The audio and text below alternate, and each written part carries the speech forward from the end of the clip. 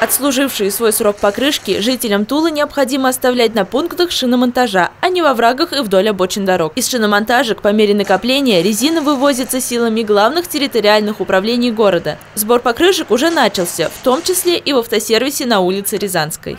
За текущую неделю уже работа такая проведена.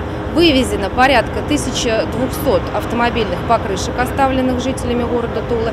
И э, это получается с порядка 72 э, точек, расположенных на территории города. Предварительно главы городских округов провели с владельцами шиномонтажек и собственниками гаражных кооперативов разъяснительную работу. А на точках были закреплены специалисты, которые контролируют этот вопрос. На территории Центрального округа расположено, э, расположено 37 гаражных кооперативов и 49 шиномонтажей.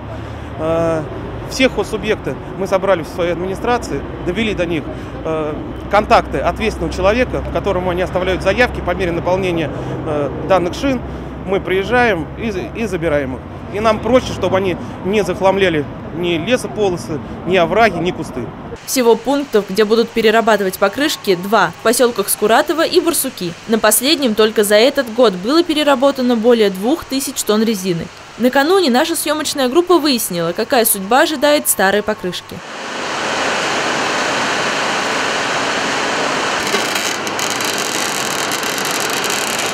Покрышки снова возвращаются на улицы города, но в совершенно ином качестве. После нескольких стадий обработки они становятся покрытием для детских площадок, а металлические части идут на переплавку. Анна Молодцова, Андрей Ремезов, Новости Тулы.